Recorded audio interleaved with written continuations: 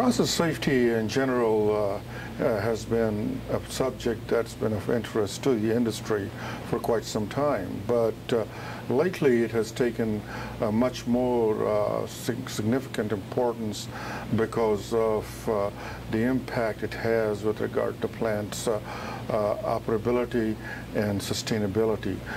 in short, what I'm saying is that if chemical plants and refineries are not able to operate their plants safely, they're not going to be sustainable in the long run. In general, in process safety, a new area that has been evolving is the issue of inherent safety. Uh, when we talk about inherent safety, uh, what we are talking about is uh, uh reducing hazards. There are two ways to look at it. Uh, hazards are the inherent property of a particular chemical. For example, a toxic chemical, the inherent property of that toxic chemical is toxicity. For a flammable, the inherent property is the uh, intrinsic property of it to catch fire or explode.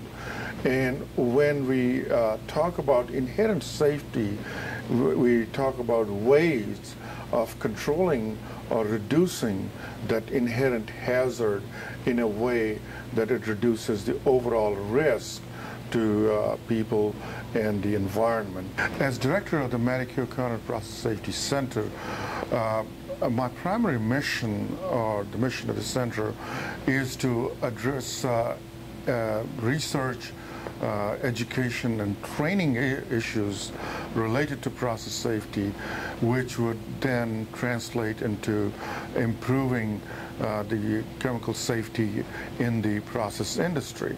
All of these uh, research areas that we have in the center are focused at learning uh, more about uh, the hazards and the risk potential, ultimately to reduce uh, uh potential accidents and the consequences of those accidents.